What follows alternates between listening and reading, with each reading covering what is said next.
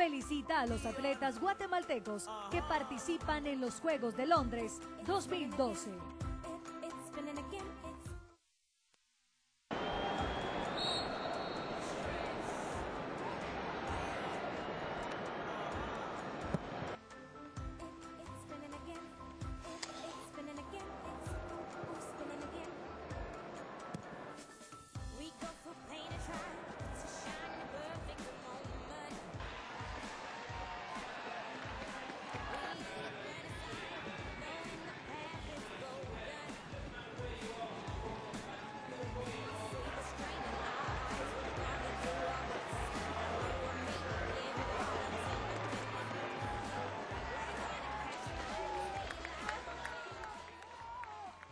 Muy bien, continuamos en este noticiario especial de sábado, llevándoles pues lo mejor, lo más completo de la participación de Eric Barrondo allá en Londres. Y tenemos dos invitados más, ya vimos eh, la opinión, el análisis de dos exatletas olímpicos. Y ahora tenemos eh, la participación de dos dirigentes, la viceministra de Deportes, María Dolores Molina, también exatleta, eh, medalla panamericana, recuerdo en esa prueba por puntos, eh, campeona también centroamericanos y del Caribe en la prueba contrarreloj y en la ruta medalla de plata. Gerardo Aguirre, también un precursor del deporte escolar eh, durante sus años en la DIGEF, ahora al frente de la CDAG, siempre ustedes creyentes del deporte guatemalteco que puede crecer, eh, están con nosotros, así que bienvenidos, gracias por aceptar la invitación. Muchas gracias y buenas noches, muchas gracias por la invitación, realmente muy emocionada. Eh, Claro. Creo que nosotros como atletas y ahora, pues como lo dijo Julio, esta nueva era, pues me siento privilegiada ahora estar en este puesto y sumamente comprometida, una medalla que tanto estábamos esperando y que pues que ahora estamos como empezando algo que realmente todos los guatemaltecos, se dijo mucho, tenemos que empezar a creer, el deporte es una cultura, es de todo un país y yo creo que es una oportunidad para que Guatemala pues tenga muchas mejorías de la juventud y que utilicemos ese tiempo para hacer deporte. Gerardo. Pues muy contento, muy emocionado. La realidad es que ha sido todo un paradigma ese tema de la medalla olímpica y creo que hoy se nos quitó el cero. Y eso se nos quitó el cero. Nos, nos tocó vivir, ¿verdad? Eh, yo recuerdo mis Juegos Olímpicos de 1980, eh, ese desempate de Osvaldo Méndez, recuerdo a Carlos Moto Taracena en el 84, ese combate con el venezolano Marcelino Bolívar por los cuartos de final y si ganaba era medalla segura, después lo de Heidi peleando el bronce, lo de Euda y de Gabriel, creo que hemos pasado todos por esa época, ¿verdad? Sí, y, pasar a, y estar viviendo la época en donde se logró hacer realidad y en donde vemos que hay nuevas posibilidades y que hay un trabajo de base y que hay proceso y que Dios mediante Guatemala va a lograr muchos éxitos más, eh, realmente pues eh, es muy satisfactorio. ¿Qué significa para, para ustedes ahora eh, en, otro, en otro sitial? En este caso fueron atletas, ahora son dirigentes. ¿Es un compromiso después de haber obtenido la medalla? ¿Es una motivación? ¿Cómo lo toman? Bueno, realmente yo creo que es motivante. Yo, yo definitivamente para mí es motivante y al mismo tiempo es un compromiso. Eh, realmente creo en el deporte. Yo creo que es un algo que debemos de empezar, sobre todo unidos, todo lo que es el deporte, todo el Consejo Nacional del Deporte, aquí es donde debemos empezar a, a demostrar que mucho del presupuesto de Estado estamos unidos y como se dijo, no solo, no solo como Estado, sino que la empresa privada y toda la gente que empiece a creer, como lo dijo Vicini, que empecemos a creer en este tipo de deporte, este deporte que da pues realmente la oportunidad, sobre todo genética que podemos tener. Eh, realmente hay, que, hay parte científica eh, para poder apoyar ciertos deportes que también vamos a obtener y también en gustos, ¿verdad? O sea, yo creo que el deporte es muy importante para un país y eso es lo que debemos de entender todos, ciudadanos, todos juntos. Gerardo. Bueno, pues eh, la realidad es que yo viví con mucha intensidad y he vivido con mucha intensidad el tema del deporte. Vengo de una familia de deportistas. Eh, yo viví, yo pues jugué muchísimos años. Tuve el honor de ser seleccionado nacional y es un compromiso de vida realmente lo que se ha vuelto. Y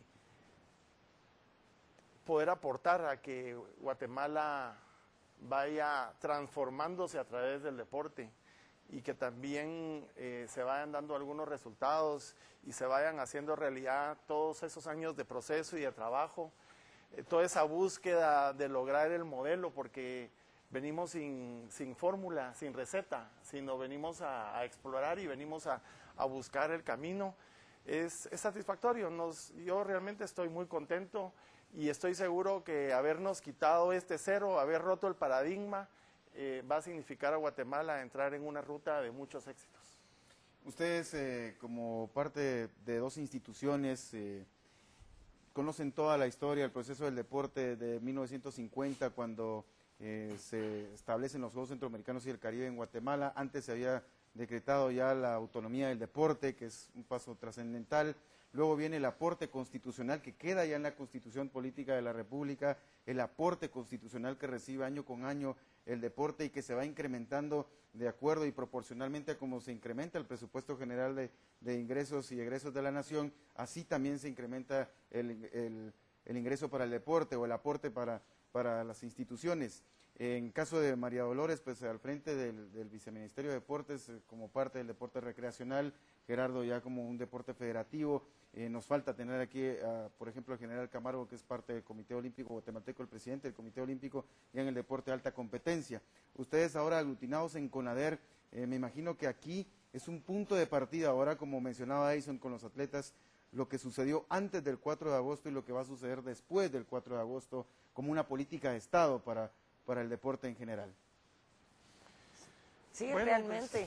Pues, realmente ese, yo creo que tengo tres meses de haber empezado, este, de estar dentro del viceministerio y, y creo que e, ese es la, lo más importante. Realmente el Consejo Nacional del Deporte, donde salen las políticas de Estado, donde sale la Unión, es un presupuesto que va directamente para el deporte. Em, como lo dijo, eh, y faltó DIGEF, que es la Dirección de Educación Física. Sí, también, del nivel escolar. Del nivel escolar, pero lo importante es que tengamos un plan, un plan nacional que realmente eh, entendamos que es el atleta, el ciudadano, el principal. A mí me toca la parte como viceministerio, la parte recreacional, deporte no federado, pero es tan importante abrir los espacios, los espacios para que las personas puedan ir a hacer deporte. O sea, hay mucho trabajo que hacer, pero estoy convencida que si nos unimos todos y realmente el presupuesto lo dirigimos para lo que debe ir, eh, estoy convencida que, puede ser un mejor trabajo de lo que antes se podría haber hecho. Y Gerardo, en su caso, vemos que no solo es lo de, lo de Eric, vimos a Kevin pelear de igual a igual con, con eh, los chinos, eh, con el japonés, con los europeos. En este caso, vimos a Ana Sofía metida entre las 24 al All Around. Vemos a Juan Imegli que está metido entre los mejores 10. En fin, creo que no es un, una casualidad o un hecho aislado lo de Eric, ¿verdad? Creo que hay muchas federaciones que están trabajando de manera eh, positiva para el deporte. Así es. Yo quisiera eh, mencionar un, tema y es que el, hecho de que el deporte en Guatemala eh, posea los recursos constitucionales, que es el único país del mundo que los tiene y que nos garantiza una cierta disponibilidad, pues no garantiza el éxito del deporte. Se necesita desarrollar la capacidad de administrarlo, se necesita eh, tener la capacidad estratégica. Y en este caso yo quisiera eh, poder resaltar también el papel que las federaciones desempeñan. Las federaciones son las responsables de generar desarrollo deportivo las entidades como Confederación y Comité Olímpico, lo que nos corresponde es apoyar los procesos y los proyectos de desarrollo que las federaciones hacen. Y en este caso concreto, eh, en, el de la Federación de Atletismo, decirles que un dirigente como ha sido Juan de Dios Reyes, que fue quien tuvo la visión de, contratar a un entrenador como es eh, Rigoberto Medina, que nos ha demostrado eh, toda la capacidad y, después que ese trabajo pudiera tener continuidad con Estuardo Alpírez, que es el actual presidente de esa federación, es, es bien importante. Entonces, em, creo yo que eh, hay que reconocer que, que, la parte estratégica, la parte de haber tomado la decisión de haber traído un excelente entrenador, la capacidad de poder seguir con el proceso, la, la- la capacidad de poder hacer eh, posible eh, toda la estrategia de, de- de preparación es bien importante y entonces eh, yo creo que también a nivel de federaciones se va desarrollando toda esa capacidad de, gestión. Ya para ir cerrando y una pregunta que pues tenía yo esa inquietud hoy en la mañana. Eh, ya como CONADER existe un- cierta cantidad de compensación económica para los atletas del ciclo olímpico, según sea la medalla que gane, lo existe también para, para Juegos Olímpicos. Pero ustedes como parte de, de CDAG, el caso de Gerardo, de María Dolores como eh, el Viceministerio de Deportes, ¿se va a hacer alguna gestión adicional a lo que ya eh, está establecido en el aporte económico, la compensación económica para Eric? Bueno, decirles que desde hace varios años eh, se viene discutiendo este tema y se identificó que dentro de la ley a quien le compete dar ese reconocimiento es a la Confederación Deportiva y al Comité Olímpico. Esta vez nosotros adelantamos en procurar esa coordinación y decirles que eh, la Asamblea del Deporte en su última eh, asamblea a finales de junio aprobó dar eh, el- como el deporte federado un reconocimiento de un millón de quetzales a la medalla de oro, eh, 500 mil a la medalla de plata y eh, 250 mil a la medalla de bronce y también un reconocimiento a los entrenadores, ¿verdad? Equivalente al 25% de cada uno de esos montos. Eh, el Comité Olímpico se está haciendo cargo dentro de, dentro de ese mismo sistema eh, de una de las becas que ellos están dando. Me parece ser que el sistema de becas que el Comité Olímpico maneja es un aporte de 20 mil quetzales mensuales para el siguiente ciclo a, las personas que están teniendo éxito en estos Juegos Olímpicos.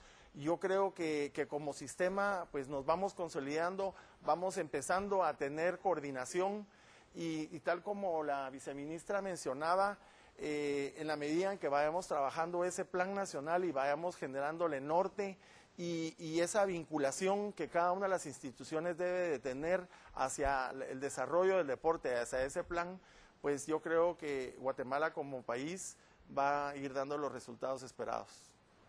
Usted como parte del gabinete y eh, del ejecutivo, me imagino que también ha tenido ya alguna comunicación con el presidente y ha tenido ese acercamiento de, bueno, ¿qué hacemos ahora? Sí, bueno, ahora viene una responsabilidad grande también. eh, eh, realmente todo, como lo dijo Gerardo, lo hablamos desde, desde la mañana porque son temas pues que tenemos que tener en cuenta. Eh, la ley, tenemos que estar basados en la ley. eh, lo- como lo dijo a CDAG y a Comité Olímpico es a quien les corresponde ahorita, pero tenemos que, que ver un futuro más, una visión de sobre todo de estos atletas que no sé qué, solo se ganó una medalla y que y creo que lo importante aquí es reconocer que los atletas han dejado su vida, su tiempo eh, por esta medalla, todas las- la gozamos, pero tiene que haber un futuro y una visión para todos los atletas. Esto no lo vamos a descuidar. Es un tema que se va a hablar en, eh, a nivel ejecutivo para que realmente se tomen las decisiones correctas. Y yo creo que es el momento de que se nos está dando oportunidad a los atletas de, de estar el día de hoy aquí. Y yo como atleta, pues eh, realmente creo que sí es importante tener esa visión a largo plazo de, de los que están dejando la, pues reconocer ese trabajo que están haciendo los atletas. Otra vez agradecerle por su tiempo, por su presencia aquí, felicitarlos, tienen mucho que ver con, con todo esto y bueno, a seguir trabajando.